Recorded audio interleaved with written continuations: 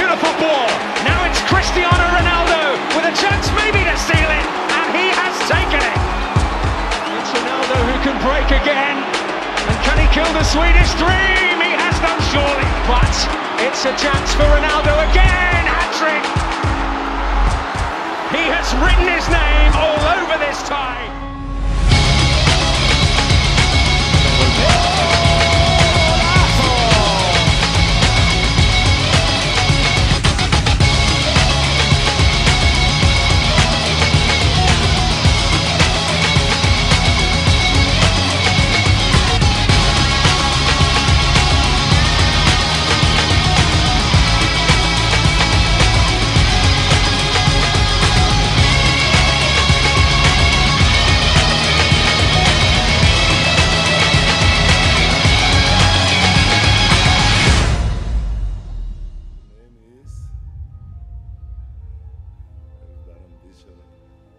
Cristiano Ronaldo.